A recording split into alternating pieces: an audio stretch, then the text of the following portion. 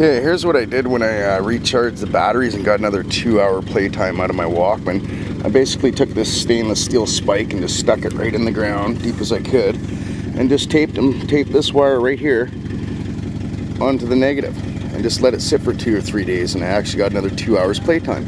Now the funny thing was the batteries acted funny. I had to keep pushing play on the button to get it to keep working. But I also did four other batteries as a blind experiment or whatever they call that, and they didn't charge whatsoever. So something's going on. And then I just moved on to other tests because I just wanted to see if it would actually draw out the electrons. It seemed to work better when the water was a bit moist. Um, like I said, it takes a few days, so have patience.